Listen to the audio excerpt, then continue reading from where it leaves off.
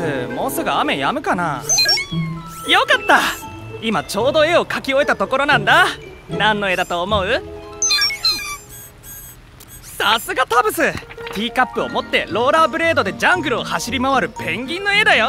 色をたくさん使ったんだ。わあ虹だ。いろんな色があるね。ところで虹にはどうして色がついているんだろう？それはいいねタブス。空を飛んで虹に聞いてみればいい。それには翼が必要だ。翼をつけます。それじゃあ出発だ。ブリッピステーション起動。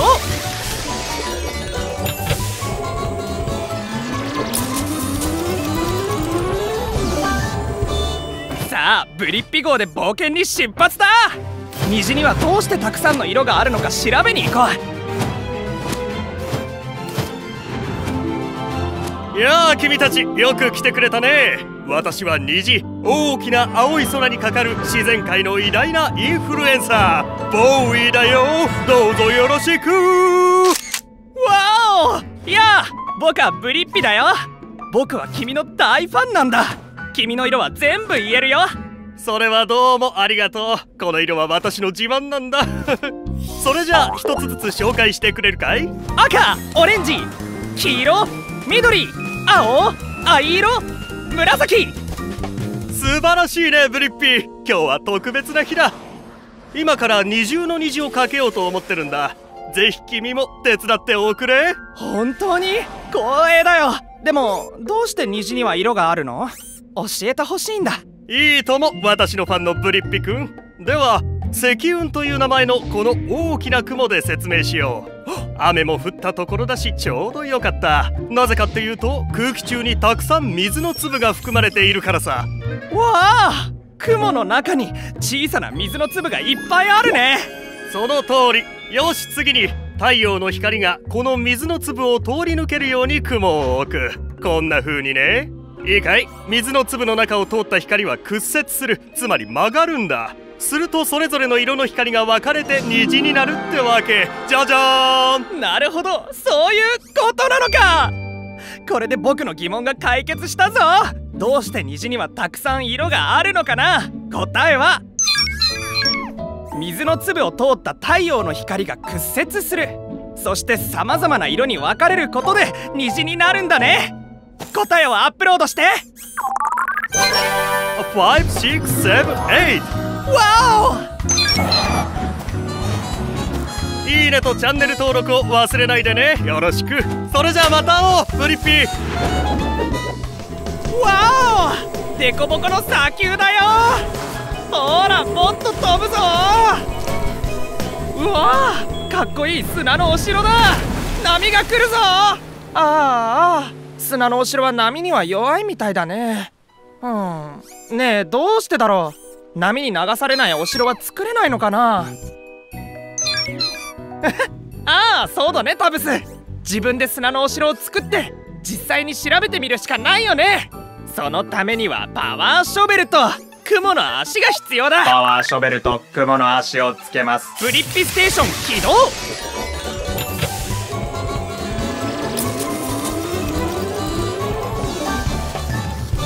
さあブリッピ号で建設開始だ波が来ても流されない砂のお城を作ろう。まずはお城にぴったりのサイズにならなくちゃ。小さくなーれ。潮風が気持ちいいねタブス。わおいやこんにちは。僕はカニのクラビーだよ。どうもはじめまして。おっと大変。力が強すぎちゃった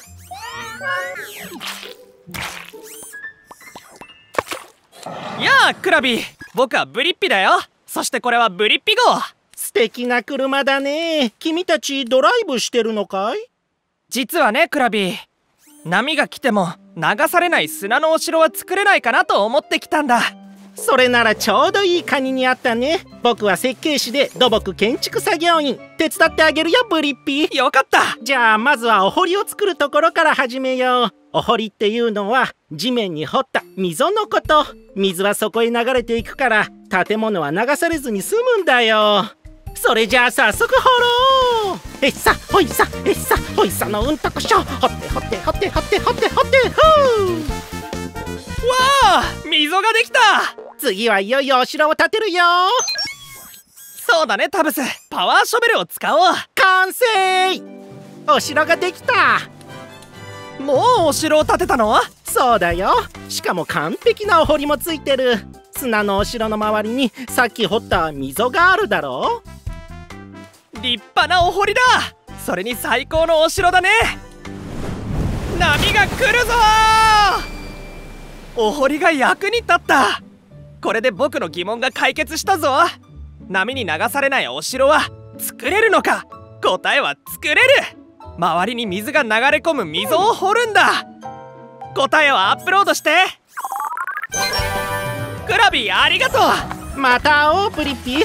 頑張って掘ってね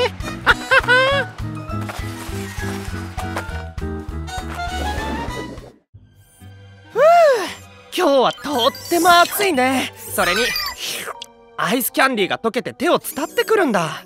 うん。不思議だな。どうしてアイスキャンディーは溶けて手を伝ってくるんだろう。タブス何何アイスクリーム屋さんに行って聞いてみればだって。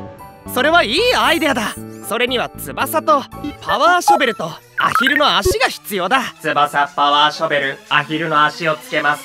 ブリッピステーション起動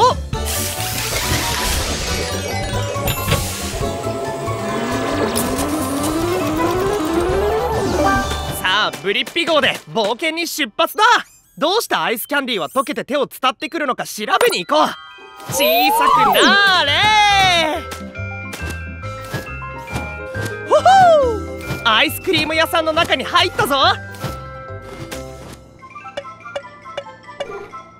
どうも。はじめましてよろしくね。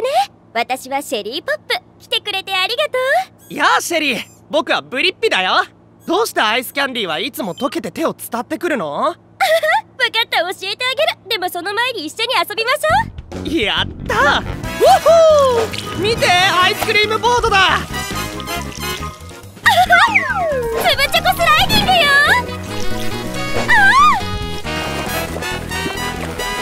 それにチョコレートファッチスノーケリング。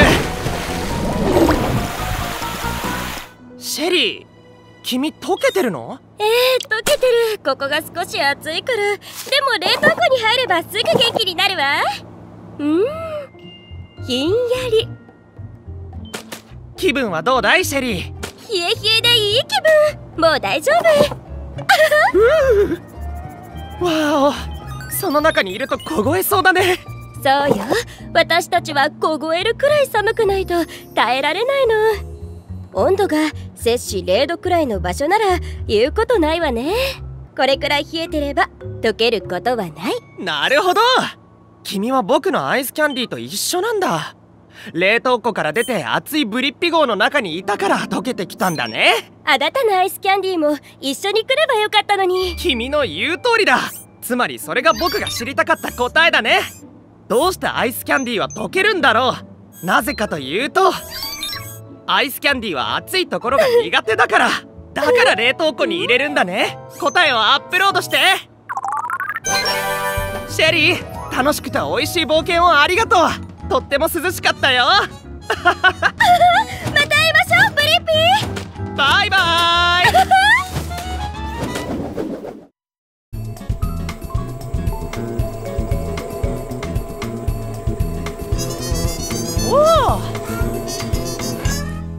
ああのミツバチとっても忙しそう。それにあのミツバチも。あこっちのも。みんな大忙しだね。あの子は違うけど。あのミツバチたちは蜂蜜を作ってるんだ。うんねえタブス。蜂蜜はどうやって作るのかな。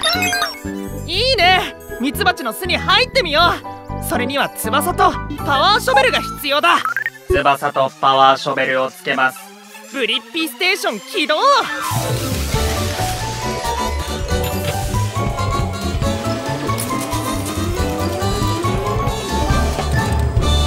さあブリッピ号で冒険に出発だ。まずはミツバチと同じくらいずっとずっと小さくならなくっちゃ。小さくなれほんとだタブス。花に舌を突き刺してるね。やあ僕はブリッピだよ。こっちはタブス。どうやって蜂蜜を作ってるのか知りたいんだ。いやあブリッピ。僕はビジョン。蜂蜜のことなら僕に任せてよ。僕は今舌で花の甘い蜜を吸ってるんだ。蜂蜜を作る最初の仕事さ。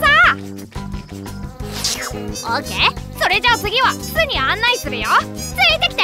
巣ではミツバチがたくさん働いてる。蜂蜜工場って感じ。ビジョンみんな花の蜜を噛んでるの？そうだよ。わかった。こうして噛むんだ噛むと粘り気が出る。それが美味しさの秘密さ。はは僕かっこよかった？そうやって噛んだら蜂蜜になるの？違う違う。まだ続きがある。噛んだらまた飲み込む。はあお腹に溜まった蜜が蜂蜜になる。それを今度は蜂蜜部屋にしまうんだ。蜂蜜部屋？そう。蜂蜜を部屋に入れて保管するんだよ。僕もちょっと食べてみようかな。うううわおっと大変。不思議なんだけど羽を羽ばたかせるほど美味しい蜂蜜になる。はそういうもんなんだ。わおそうだねタブス。僕の疑問の答えが見つかったよ。どうやって蜂蜜を作るのか。まず花の蜜を集める。その蜜を噛んでお腹の中に溜めてそして蜂蜜部屋に入れておく。それから羽を羽ばたかせる。答えをアップロードしてタブス。じゃあねビジョン。教えてくれてどうもありがとう。バイバイ。イエーイうんうんうんうんサラダだ。ああありがとうタブス。歯にレタスが挟まってたなんて気づかなかった。歯磨きをすればよかったかも。うんそういえば歯ブラシはどうやって歯をきれいにするのかな。いいアイデアだね。口の中の歯ブラシに会いに行こう。それには翼が必要だ。翼をつけます。よし探検に行ってみよう。ブリッピステーション起動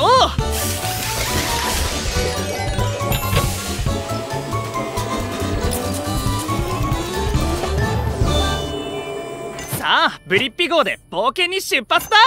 今から小さくなって口の中に入るぞ。小さくなれ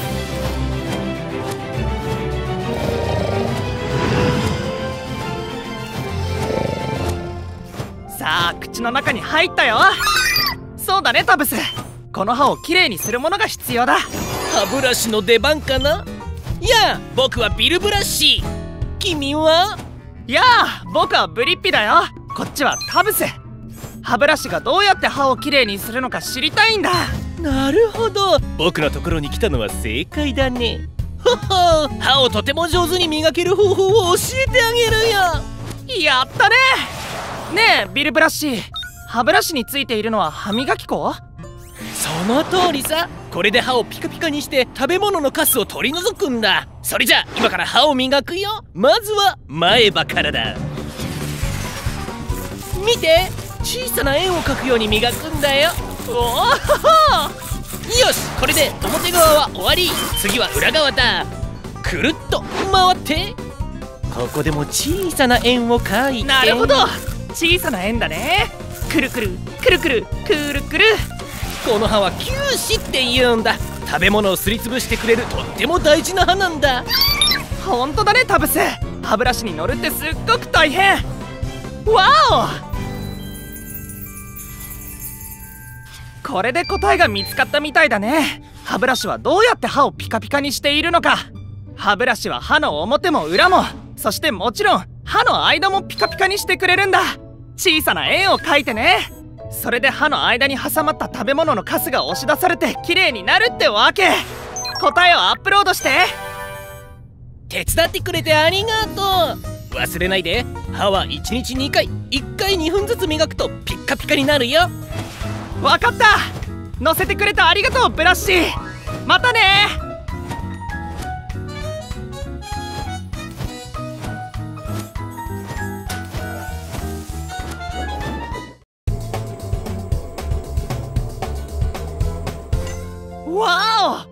あの山すっごく高いね。ああ知ってるよ。これよりもっと高い山があるんだろ。うん。それじゃあ世界で一番高い山は？それはいいアイデアだ。ヒマラヤ山脈に行って確かめよう。それには翼とパワーショベルが必要だ。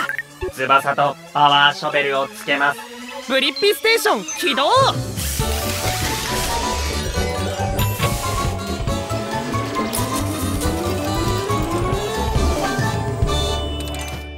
あブリッピ号で冒険に出発だ。世界で一番高い山を探そう。や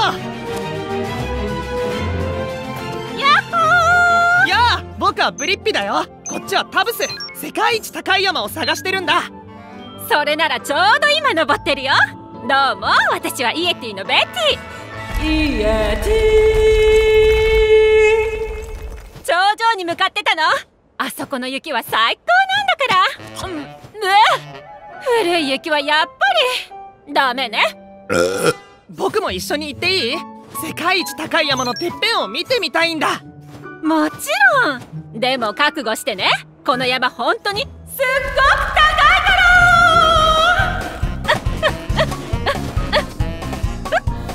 ら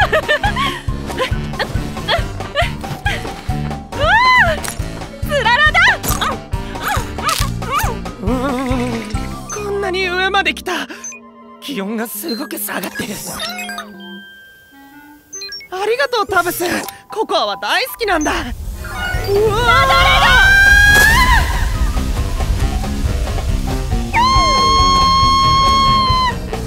捕まえた。ふう危なかったね。ねえあれが頂上だ。やった。登ったぞ。おおうお頂上はすごい風だ。大丈夫だよプリッピ。それでこの山は何ていう名前なの？これはチョモラーマあ エベレストさんでいいよ。そうだねタブス。疑問の答えが分かったぞ。世界で一番高い山は？それはエベレスト山だ。この山の高さは8849メートル答えをアップロードして。そしてここの雪はとってもデリシャス。おっと失礼。おやつを楽しんで。じゃあねイエティのベティ。バイバ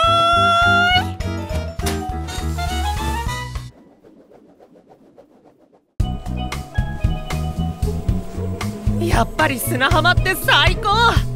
おお魚が飛んでる。うん。海の底には一体何があるんだろう。それはいいアイデアだ。海に潜って何があるのか調べよう。それにはアヒルの足とプロペラが必要だ。アヒルの足とプロペラをつけます。ブリッピステーション起動。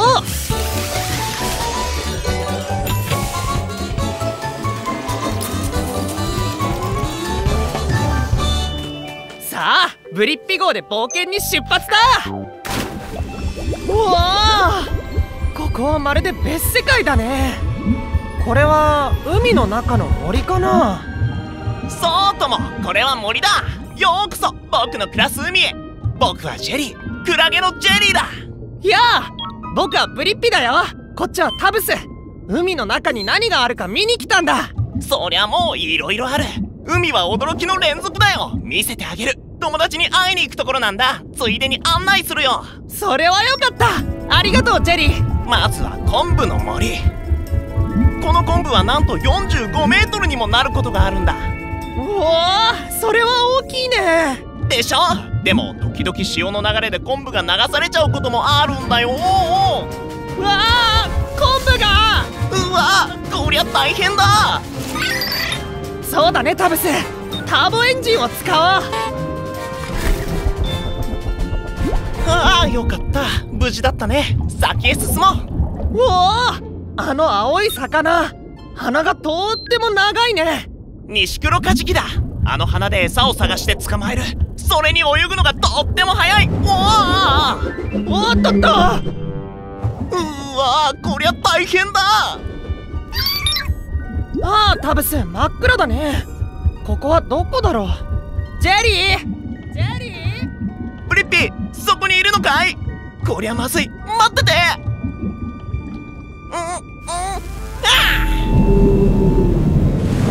うわコククジラをびっくりさせて噴気口から出してあげたよ。危なかったね。出してくれてありがとうジェリー。すごい。体が光ってる。だから言ったろ？海は驚きの連続だって。ねえ見て。君の友達だやあみんな来てくれたんだね。これで疑問の答えが分かったぞ。海の底には何があるか。昆布の森にニシクロカジキ。大きなクジラ。それに光るクラゲもいる。答えをアップロードして。でもこれはまだ第一章だ。ここから先はタコにサメにウミガメにマグロじゃあねジェリー。ああそれからラッコにタツノオトシゴロブスターとアカエもいる。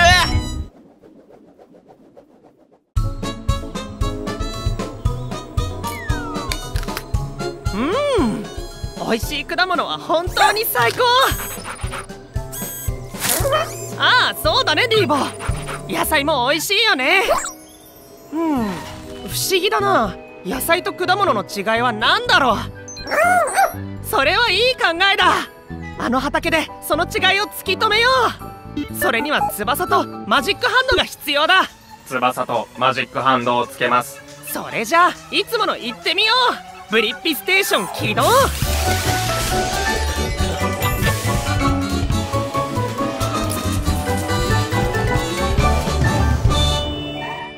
小さくなれ。さあブリッピ号で冒険に出発だよーし着いた。ここは市民農園だ。いろんな果物や野菜が育てられているよ。見て。誰かいる。さあさあこちらへ。あなたはキュウリ公認取れたて野菜でしょうの次の参加者です。果物野菜どっち？お名前をどうぞ。やあ僕はプリッピだよ。こっちはディーボ。ではポリピにディーボ。まずは軽くおさらいだ果物にはみんな種がある。そして花をつける植物になるよ。果物には種があって花をつける植物になる。わかった。だけど野菜はそうじゃない。野菜には根っこや葉っぱがある。なるほどわかった。素晴らしい。それでは始めよう。ではプリッピこの人参は果物かな？それとも？ああ人参は野菜だ。だって根っこと葉っぱがあるから。大正解さて2問目も正解できるかな？では問題です。このトマトは果物か野菜かどっちでしょうか？うんこれは難しい。えっとトマトは植物になるでしょ？それに種もある。だけどトマトは野菜かな？残念。実はトマトは果物なんだ。ではブリッピー最後の問題ですこのイチゴは果物かそれとも野菜かどっちでしょう？さあ答えをどうぞ！いちごはえっとあ果物だ。正解！イチゴは果物です！やりました！2問正解！ということでトロフィーを差し上げます！うわあありがとうミスタースリム。ついでに疑問の答えが分かったぞ。野菜と果物の違いは何か？野菜には根っこと葉っぱがある。そして果物は花が咲いて種があるんだ。答えをアップロードして。バイバイミスタースリム。おめでとう。よかったねブリッピー。ゲームは終わり。ミスタースリムでした。ちなみにキュウリは果物。次回はゲストにマンゴー夫人をお迎えします。果物野菜どっち？うんチョコレート大好きでも食べ過ぎは良くないけどね。ディーボもチョコは好き？ああそうか。犬はチョコを食べられない。お腹が壊れちゃうから。うん。じゃあ板チョコってどうやって作られるんだろう？それはいい考えだ。あのチョコレート工場へ行って答えを探してみよう。それには翼とホバークラフトターボエンジンが必要だ。翼とホバークラフトターボエンジンをつけます。ブリッピステーション起動!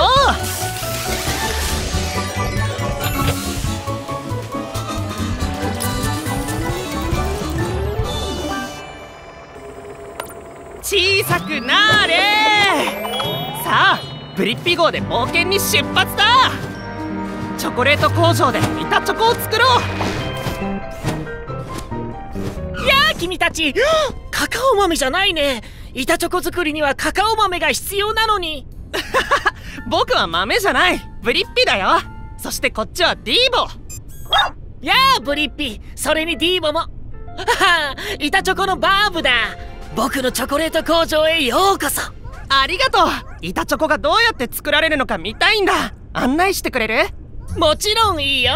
まずはカカオ豆だ。この豆は植物から取れる。でもどうやって豆がチョコレートになるの？ちょっとした旅をするんだよ。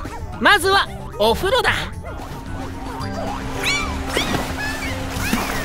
次にオーブンでカカオ豆をローストする。そうしたらそれを砕いて細かくする。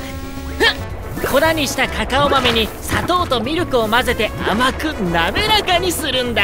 おっと。さあディーボスキーをしようしないの？きっと楽しいよ。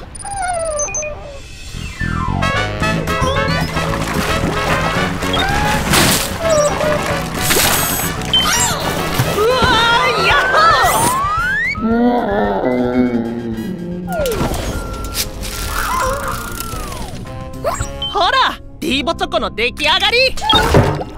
そして型に入れて冷やしたら包装してついに板チョコの完成だ。うわあ二人ともそっくりだね。よし疑問の答えが分かったぞ。板チョコはどうやって作られるのか。カカオ豆を洗って熱を加え砕いてミルクと砂糖を混ぜる。そして板チョコの形にして冷やす。答えをアップロードして。バーブ工場を案内してくれてありがとう。また来てね。バイバイブリピー。バイバイ。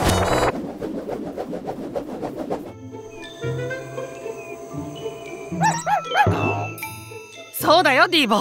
ここはカンガルーの通り道だ。僕らは今オーストラリアにいる。今までカンガルーが飛び出してくるのは見たことないだろおっと出てきた！うわなんて大きなジャンプなんだろう。うん。じゃあカンガルーはどれほど高く飛べるんだろう？それはいい考えだ。あのカンガルーに聞いてみよう。それにはカエルの足が必要だ。カエルの足をつけますブリッピステーション起動！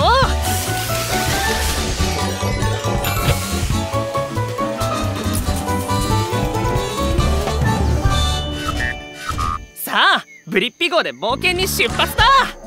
砂漠の広がる内陸部でカンガルーを探そう！やあどうも。僕はルーニー。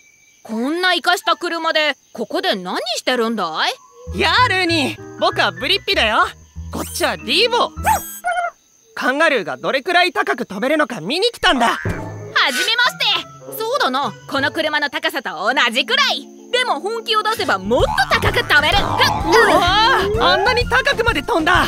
足も速いんだね。ああ君もやるじゃないか。そうだ。ちょっと競争しない？面白そうだ。よしそれじゃあ。あの大きな岩山の周りを走ろう。あれはウルルエアーズロックとも言うオーストラリアのど真ん中だ。うわすごい景色だね。先にここに戻った方が勝ち。よしそれで決まりだ。言っとくけど途中で一つか二つ柵があるからね。教えてくれてありがとう。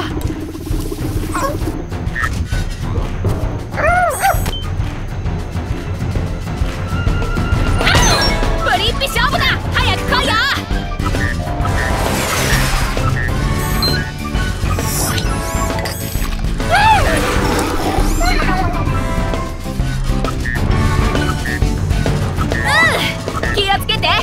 その柵は180センチだ。いいジャンプだ。もっと高く飛べるかい？行くぞ。じゃあこれは3メートルだ。